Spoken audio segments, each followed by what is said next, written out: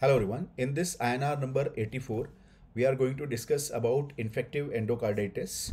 So what are the causative organism for the infective endocarditis? See the name itself is telling infective endocarditis means endocardium is having inflammation or infection. So there are three group of the uh, infective endocarditis. We are going to divide them into native valve, into the prosthetic valve and into the uh, those people who are having IV drug abuse right? So these are the three categories native valve prosthetic valve and iv drug abusers. So in native valve we are going to divide them into two broader categories community acquired or nosocomial infection right? So when we talk, talk about community acquired so community acquired can be in infants and overall. So what is the most common in community acquired infants staph aureus for community acquired native valve infective endocarditis, overall most common will be streptococci. That is the point you have to remember.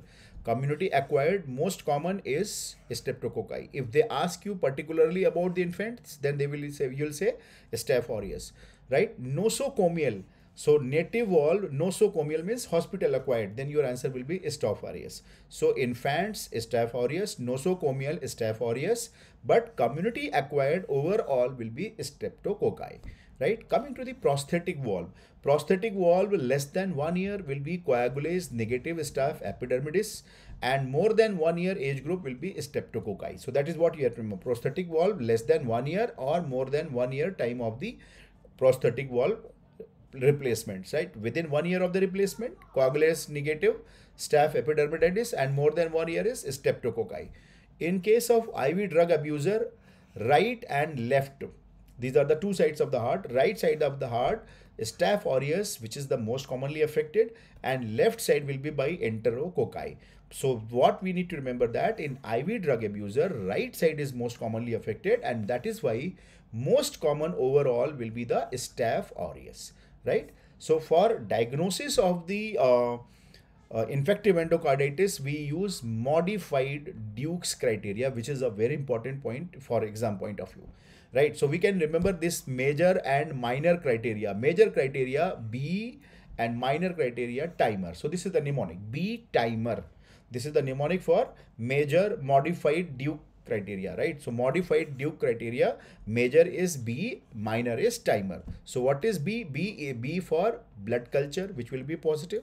E is echocardiographic evidence of the endocardial involvement. So endocardium has been involved that we will see by echocardiography. And then in minor criteria, so major criteria we have only two things, blood culture and echocardio. Minor criteria we are having five things, timer right? So what are these five things? T for temperature means fever. Fever will be more than 100.4 degree Fahrenheit or more than 38 degrees Celsius. I is for immunologic phenomena.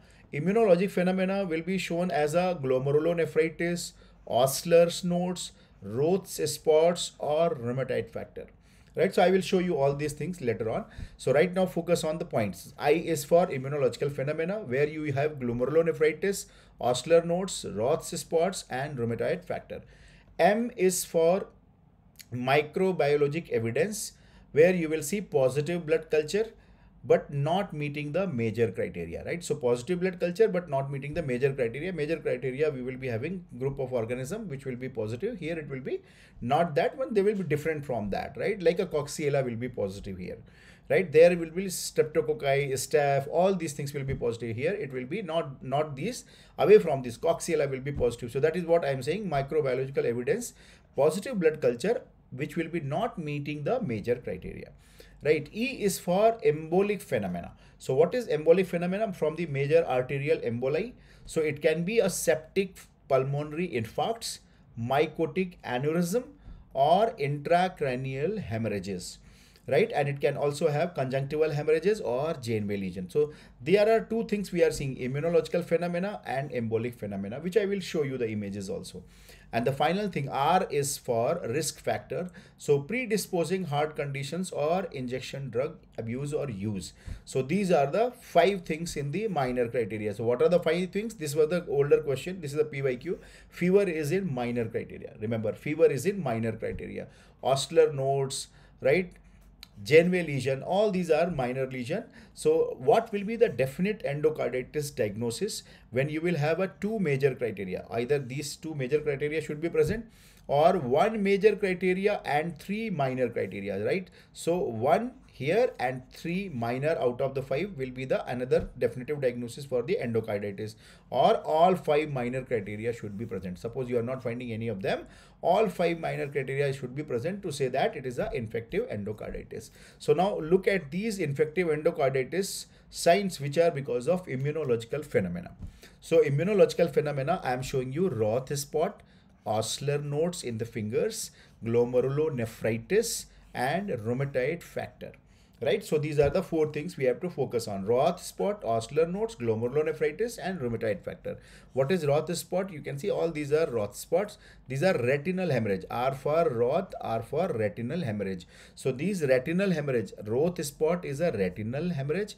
This is immunological phenomena and this was a PYQ where you will see them in diabetes and leukemia also you can see this right? So now you understand. So please remember diabetes and leukemia. These are the earlier mcqs also where you will find the roth spot right? So diabetes leukemia hypertension and endocarditis which we are seeing here.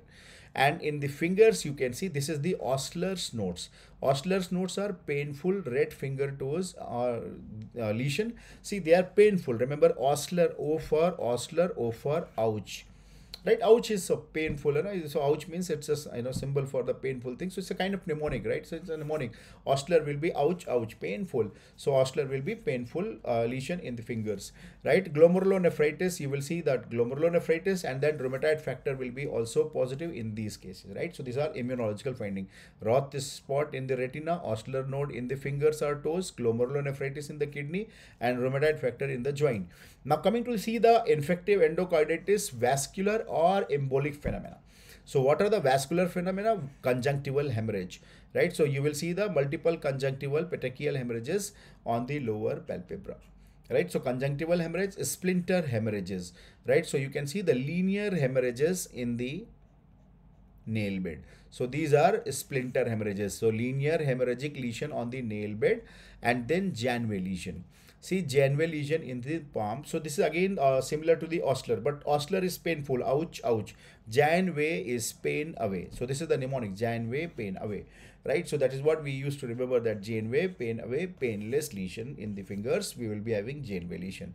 Then pulmonary infarct. This is the another important reason for the red or hemorrhagic infarct will be seen here so you can see red infarct is there and then mycotic aneurysm this will be the another finding so these are these are five important immunology, uh, sorry, vascular or embolic phenomena, right? Conjunctival hemorrhage, splinter hemorrhage, Janeway lesion, pulmonary infarct, and mycotic aneurysm.